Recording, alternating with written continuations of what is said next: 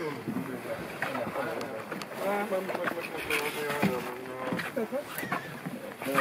for min del, hvis jeg får inn noe som jeg er allergisk mot, som eggerøl for så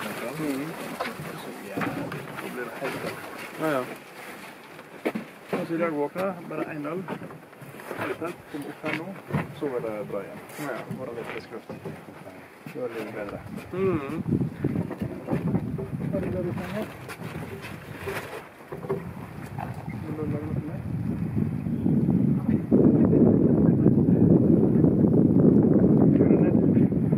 んな人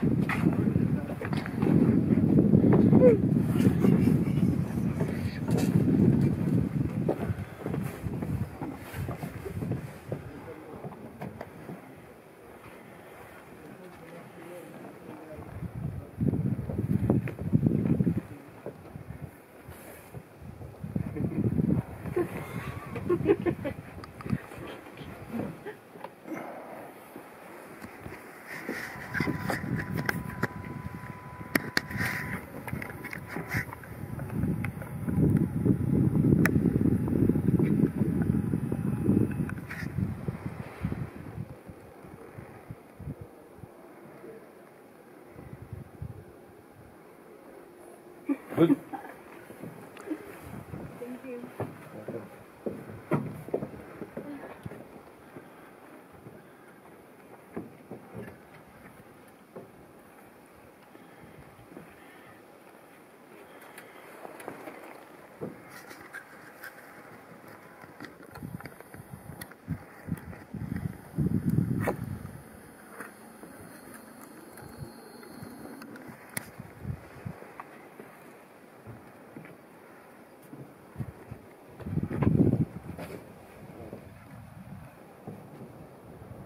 olabilir misin? Hoş bir zaman da.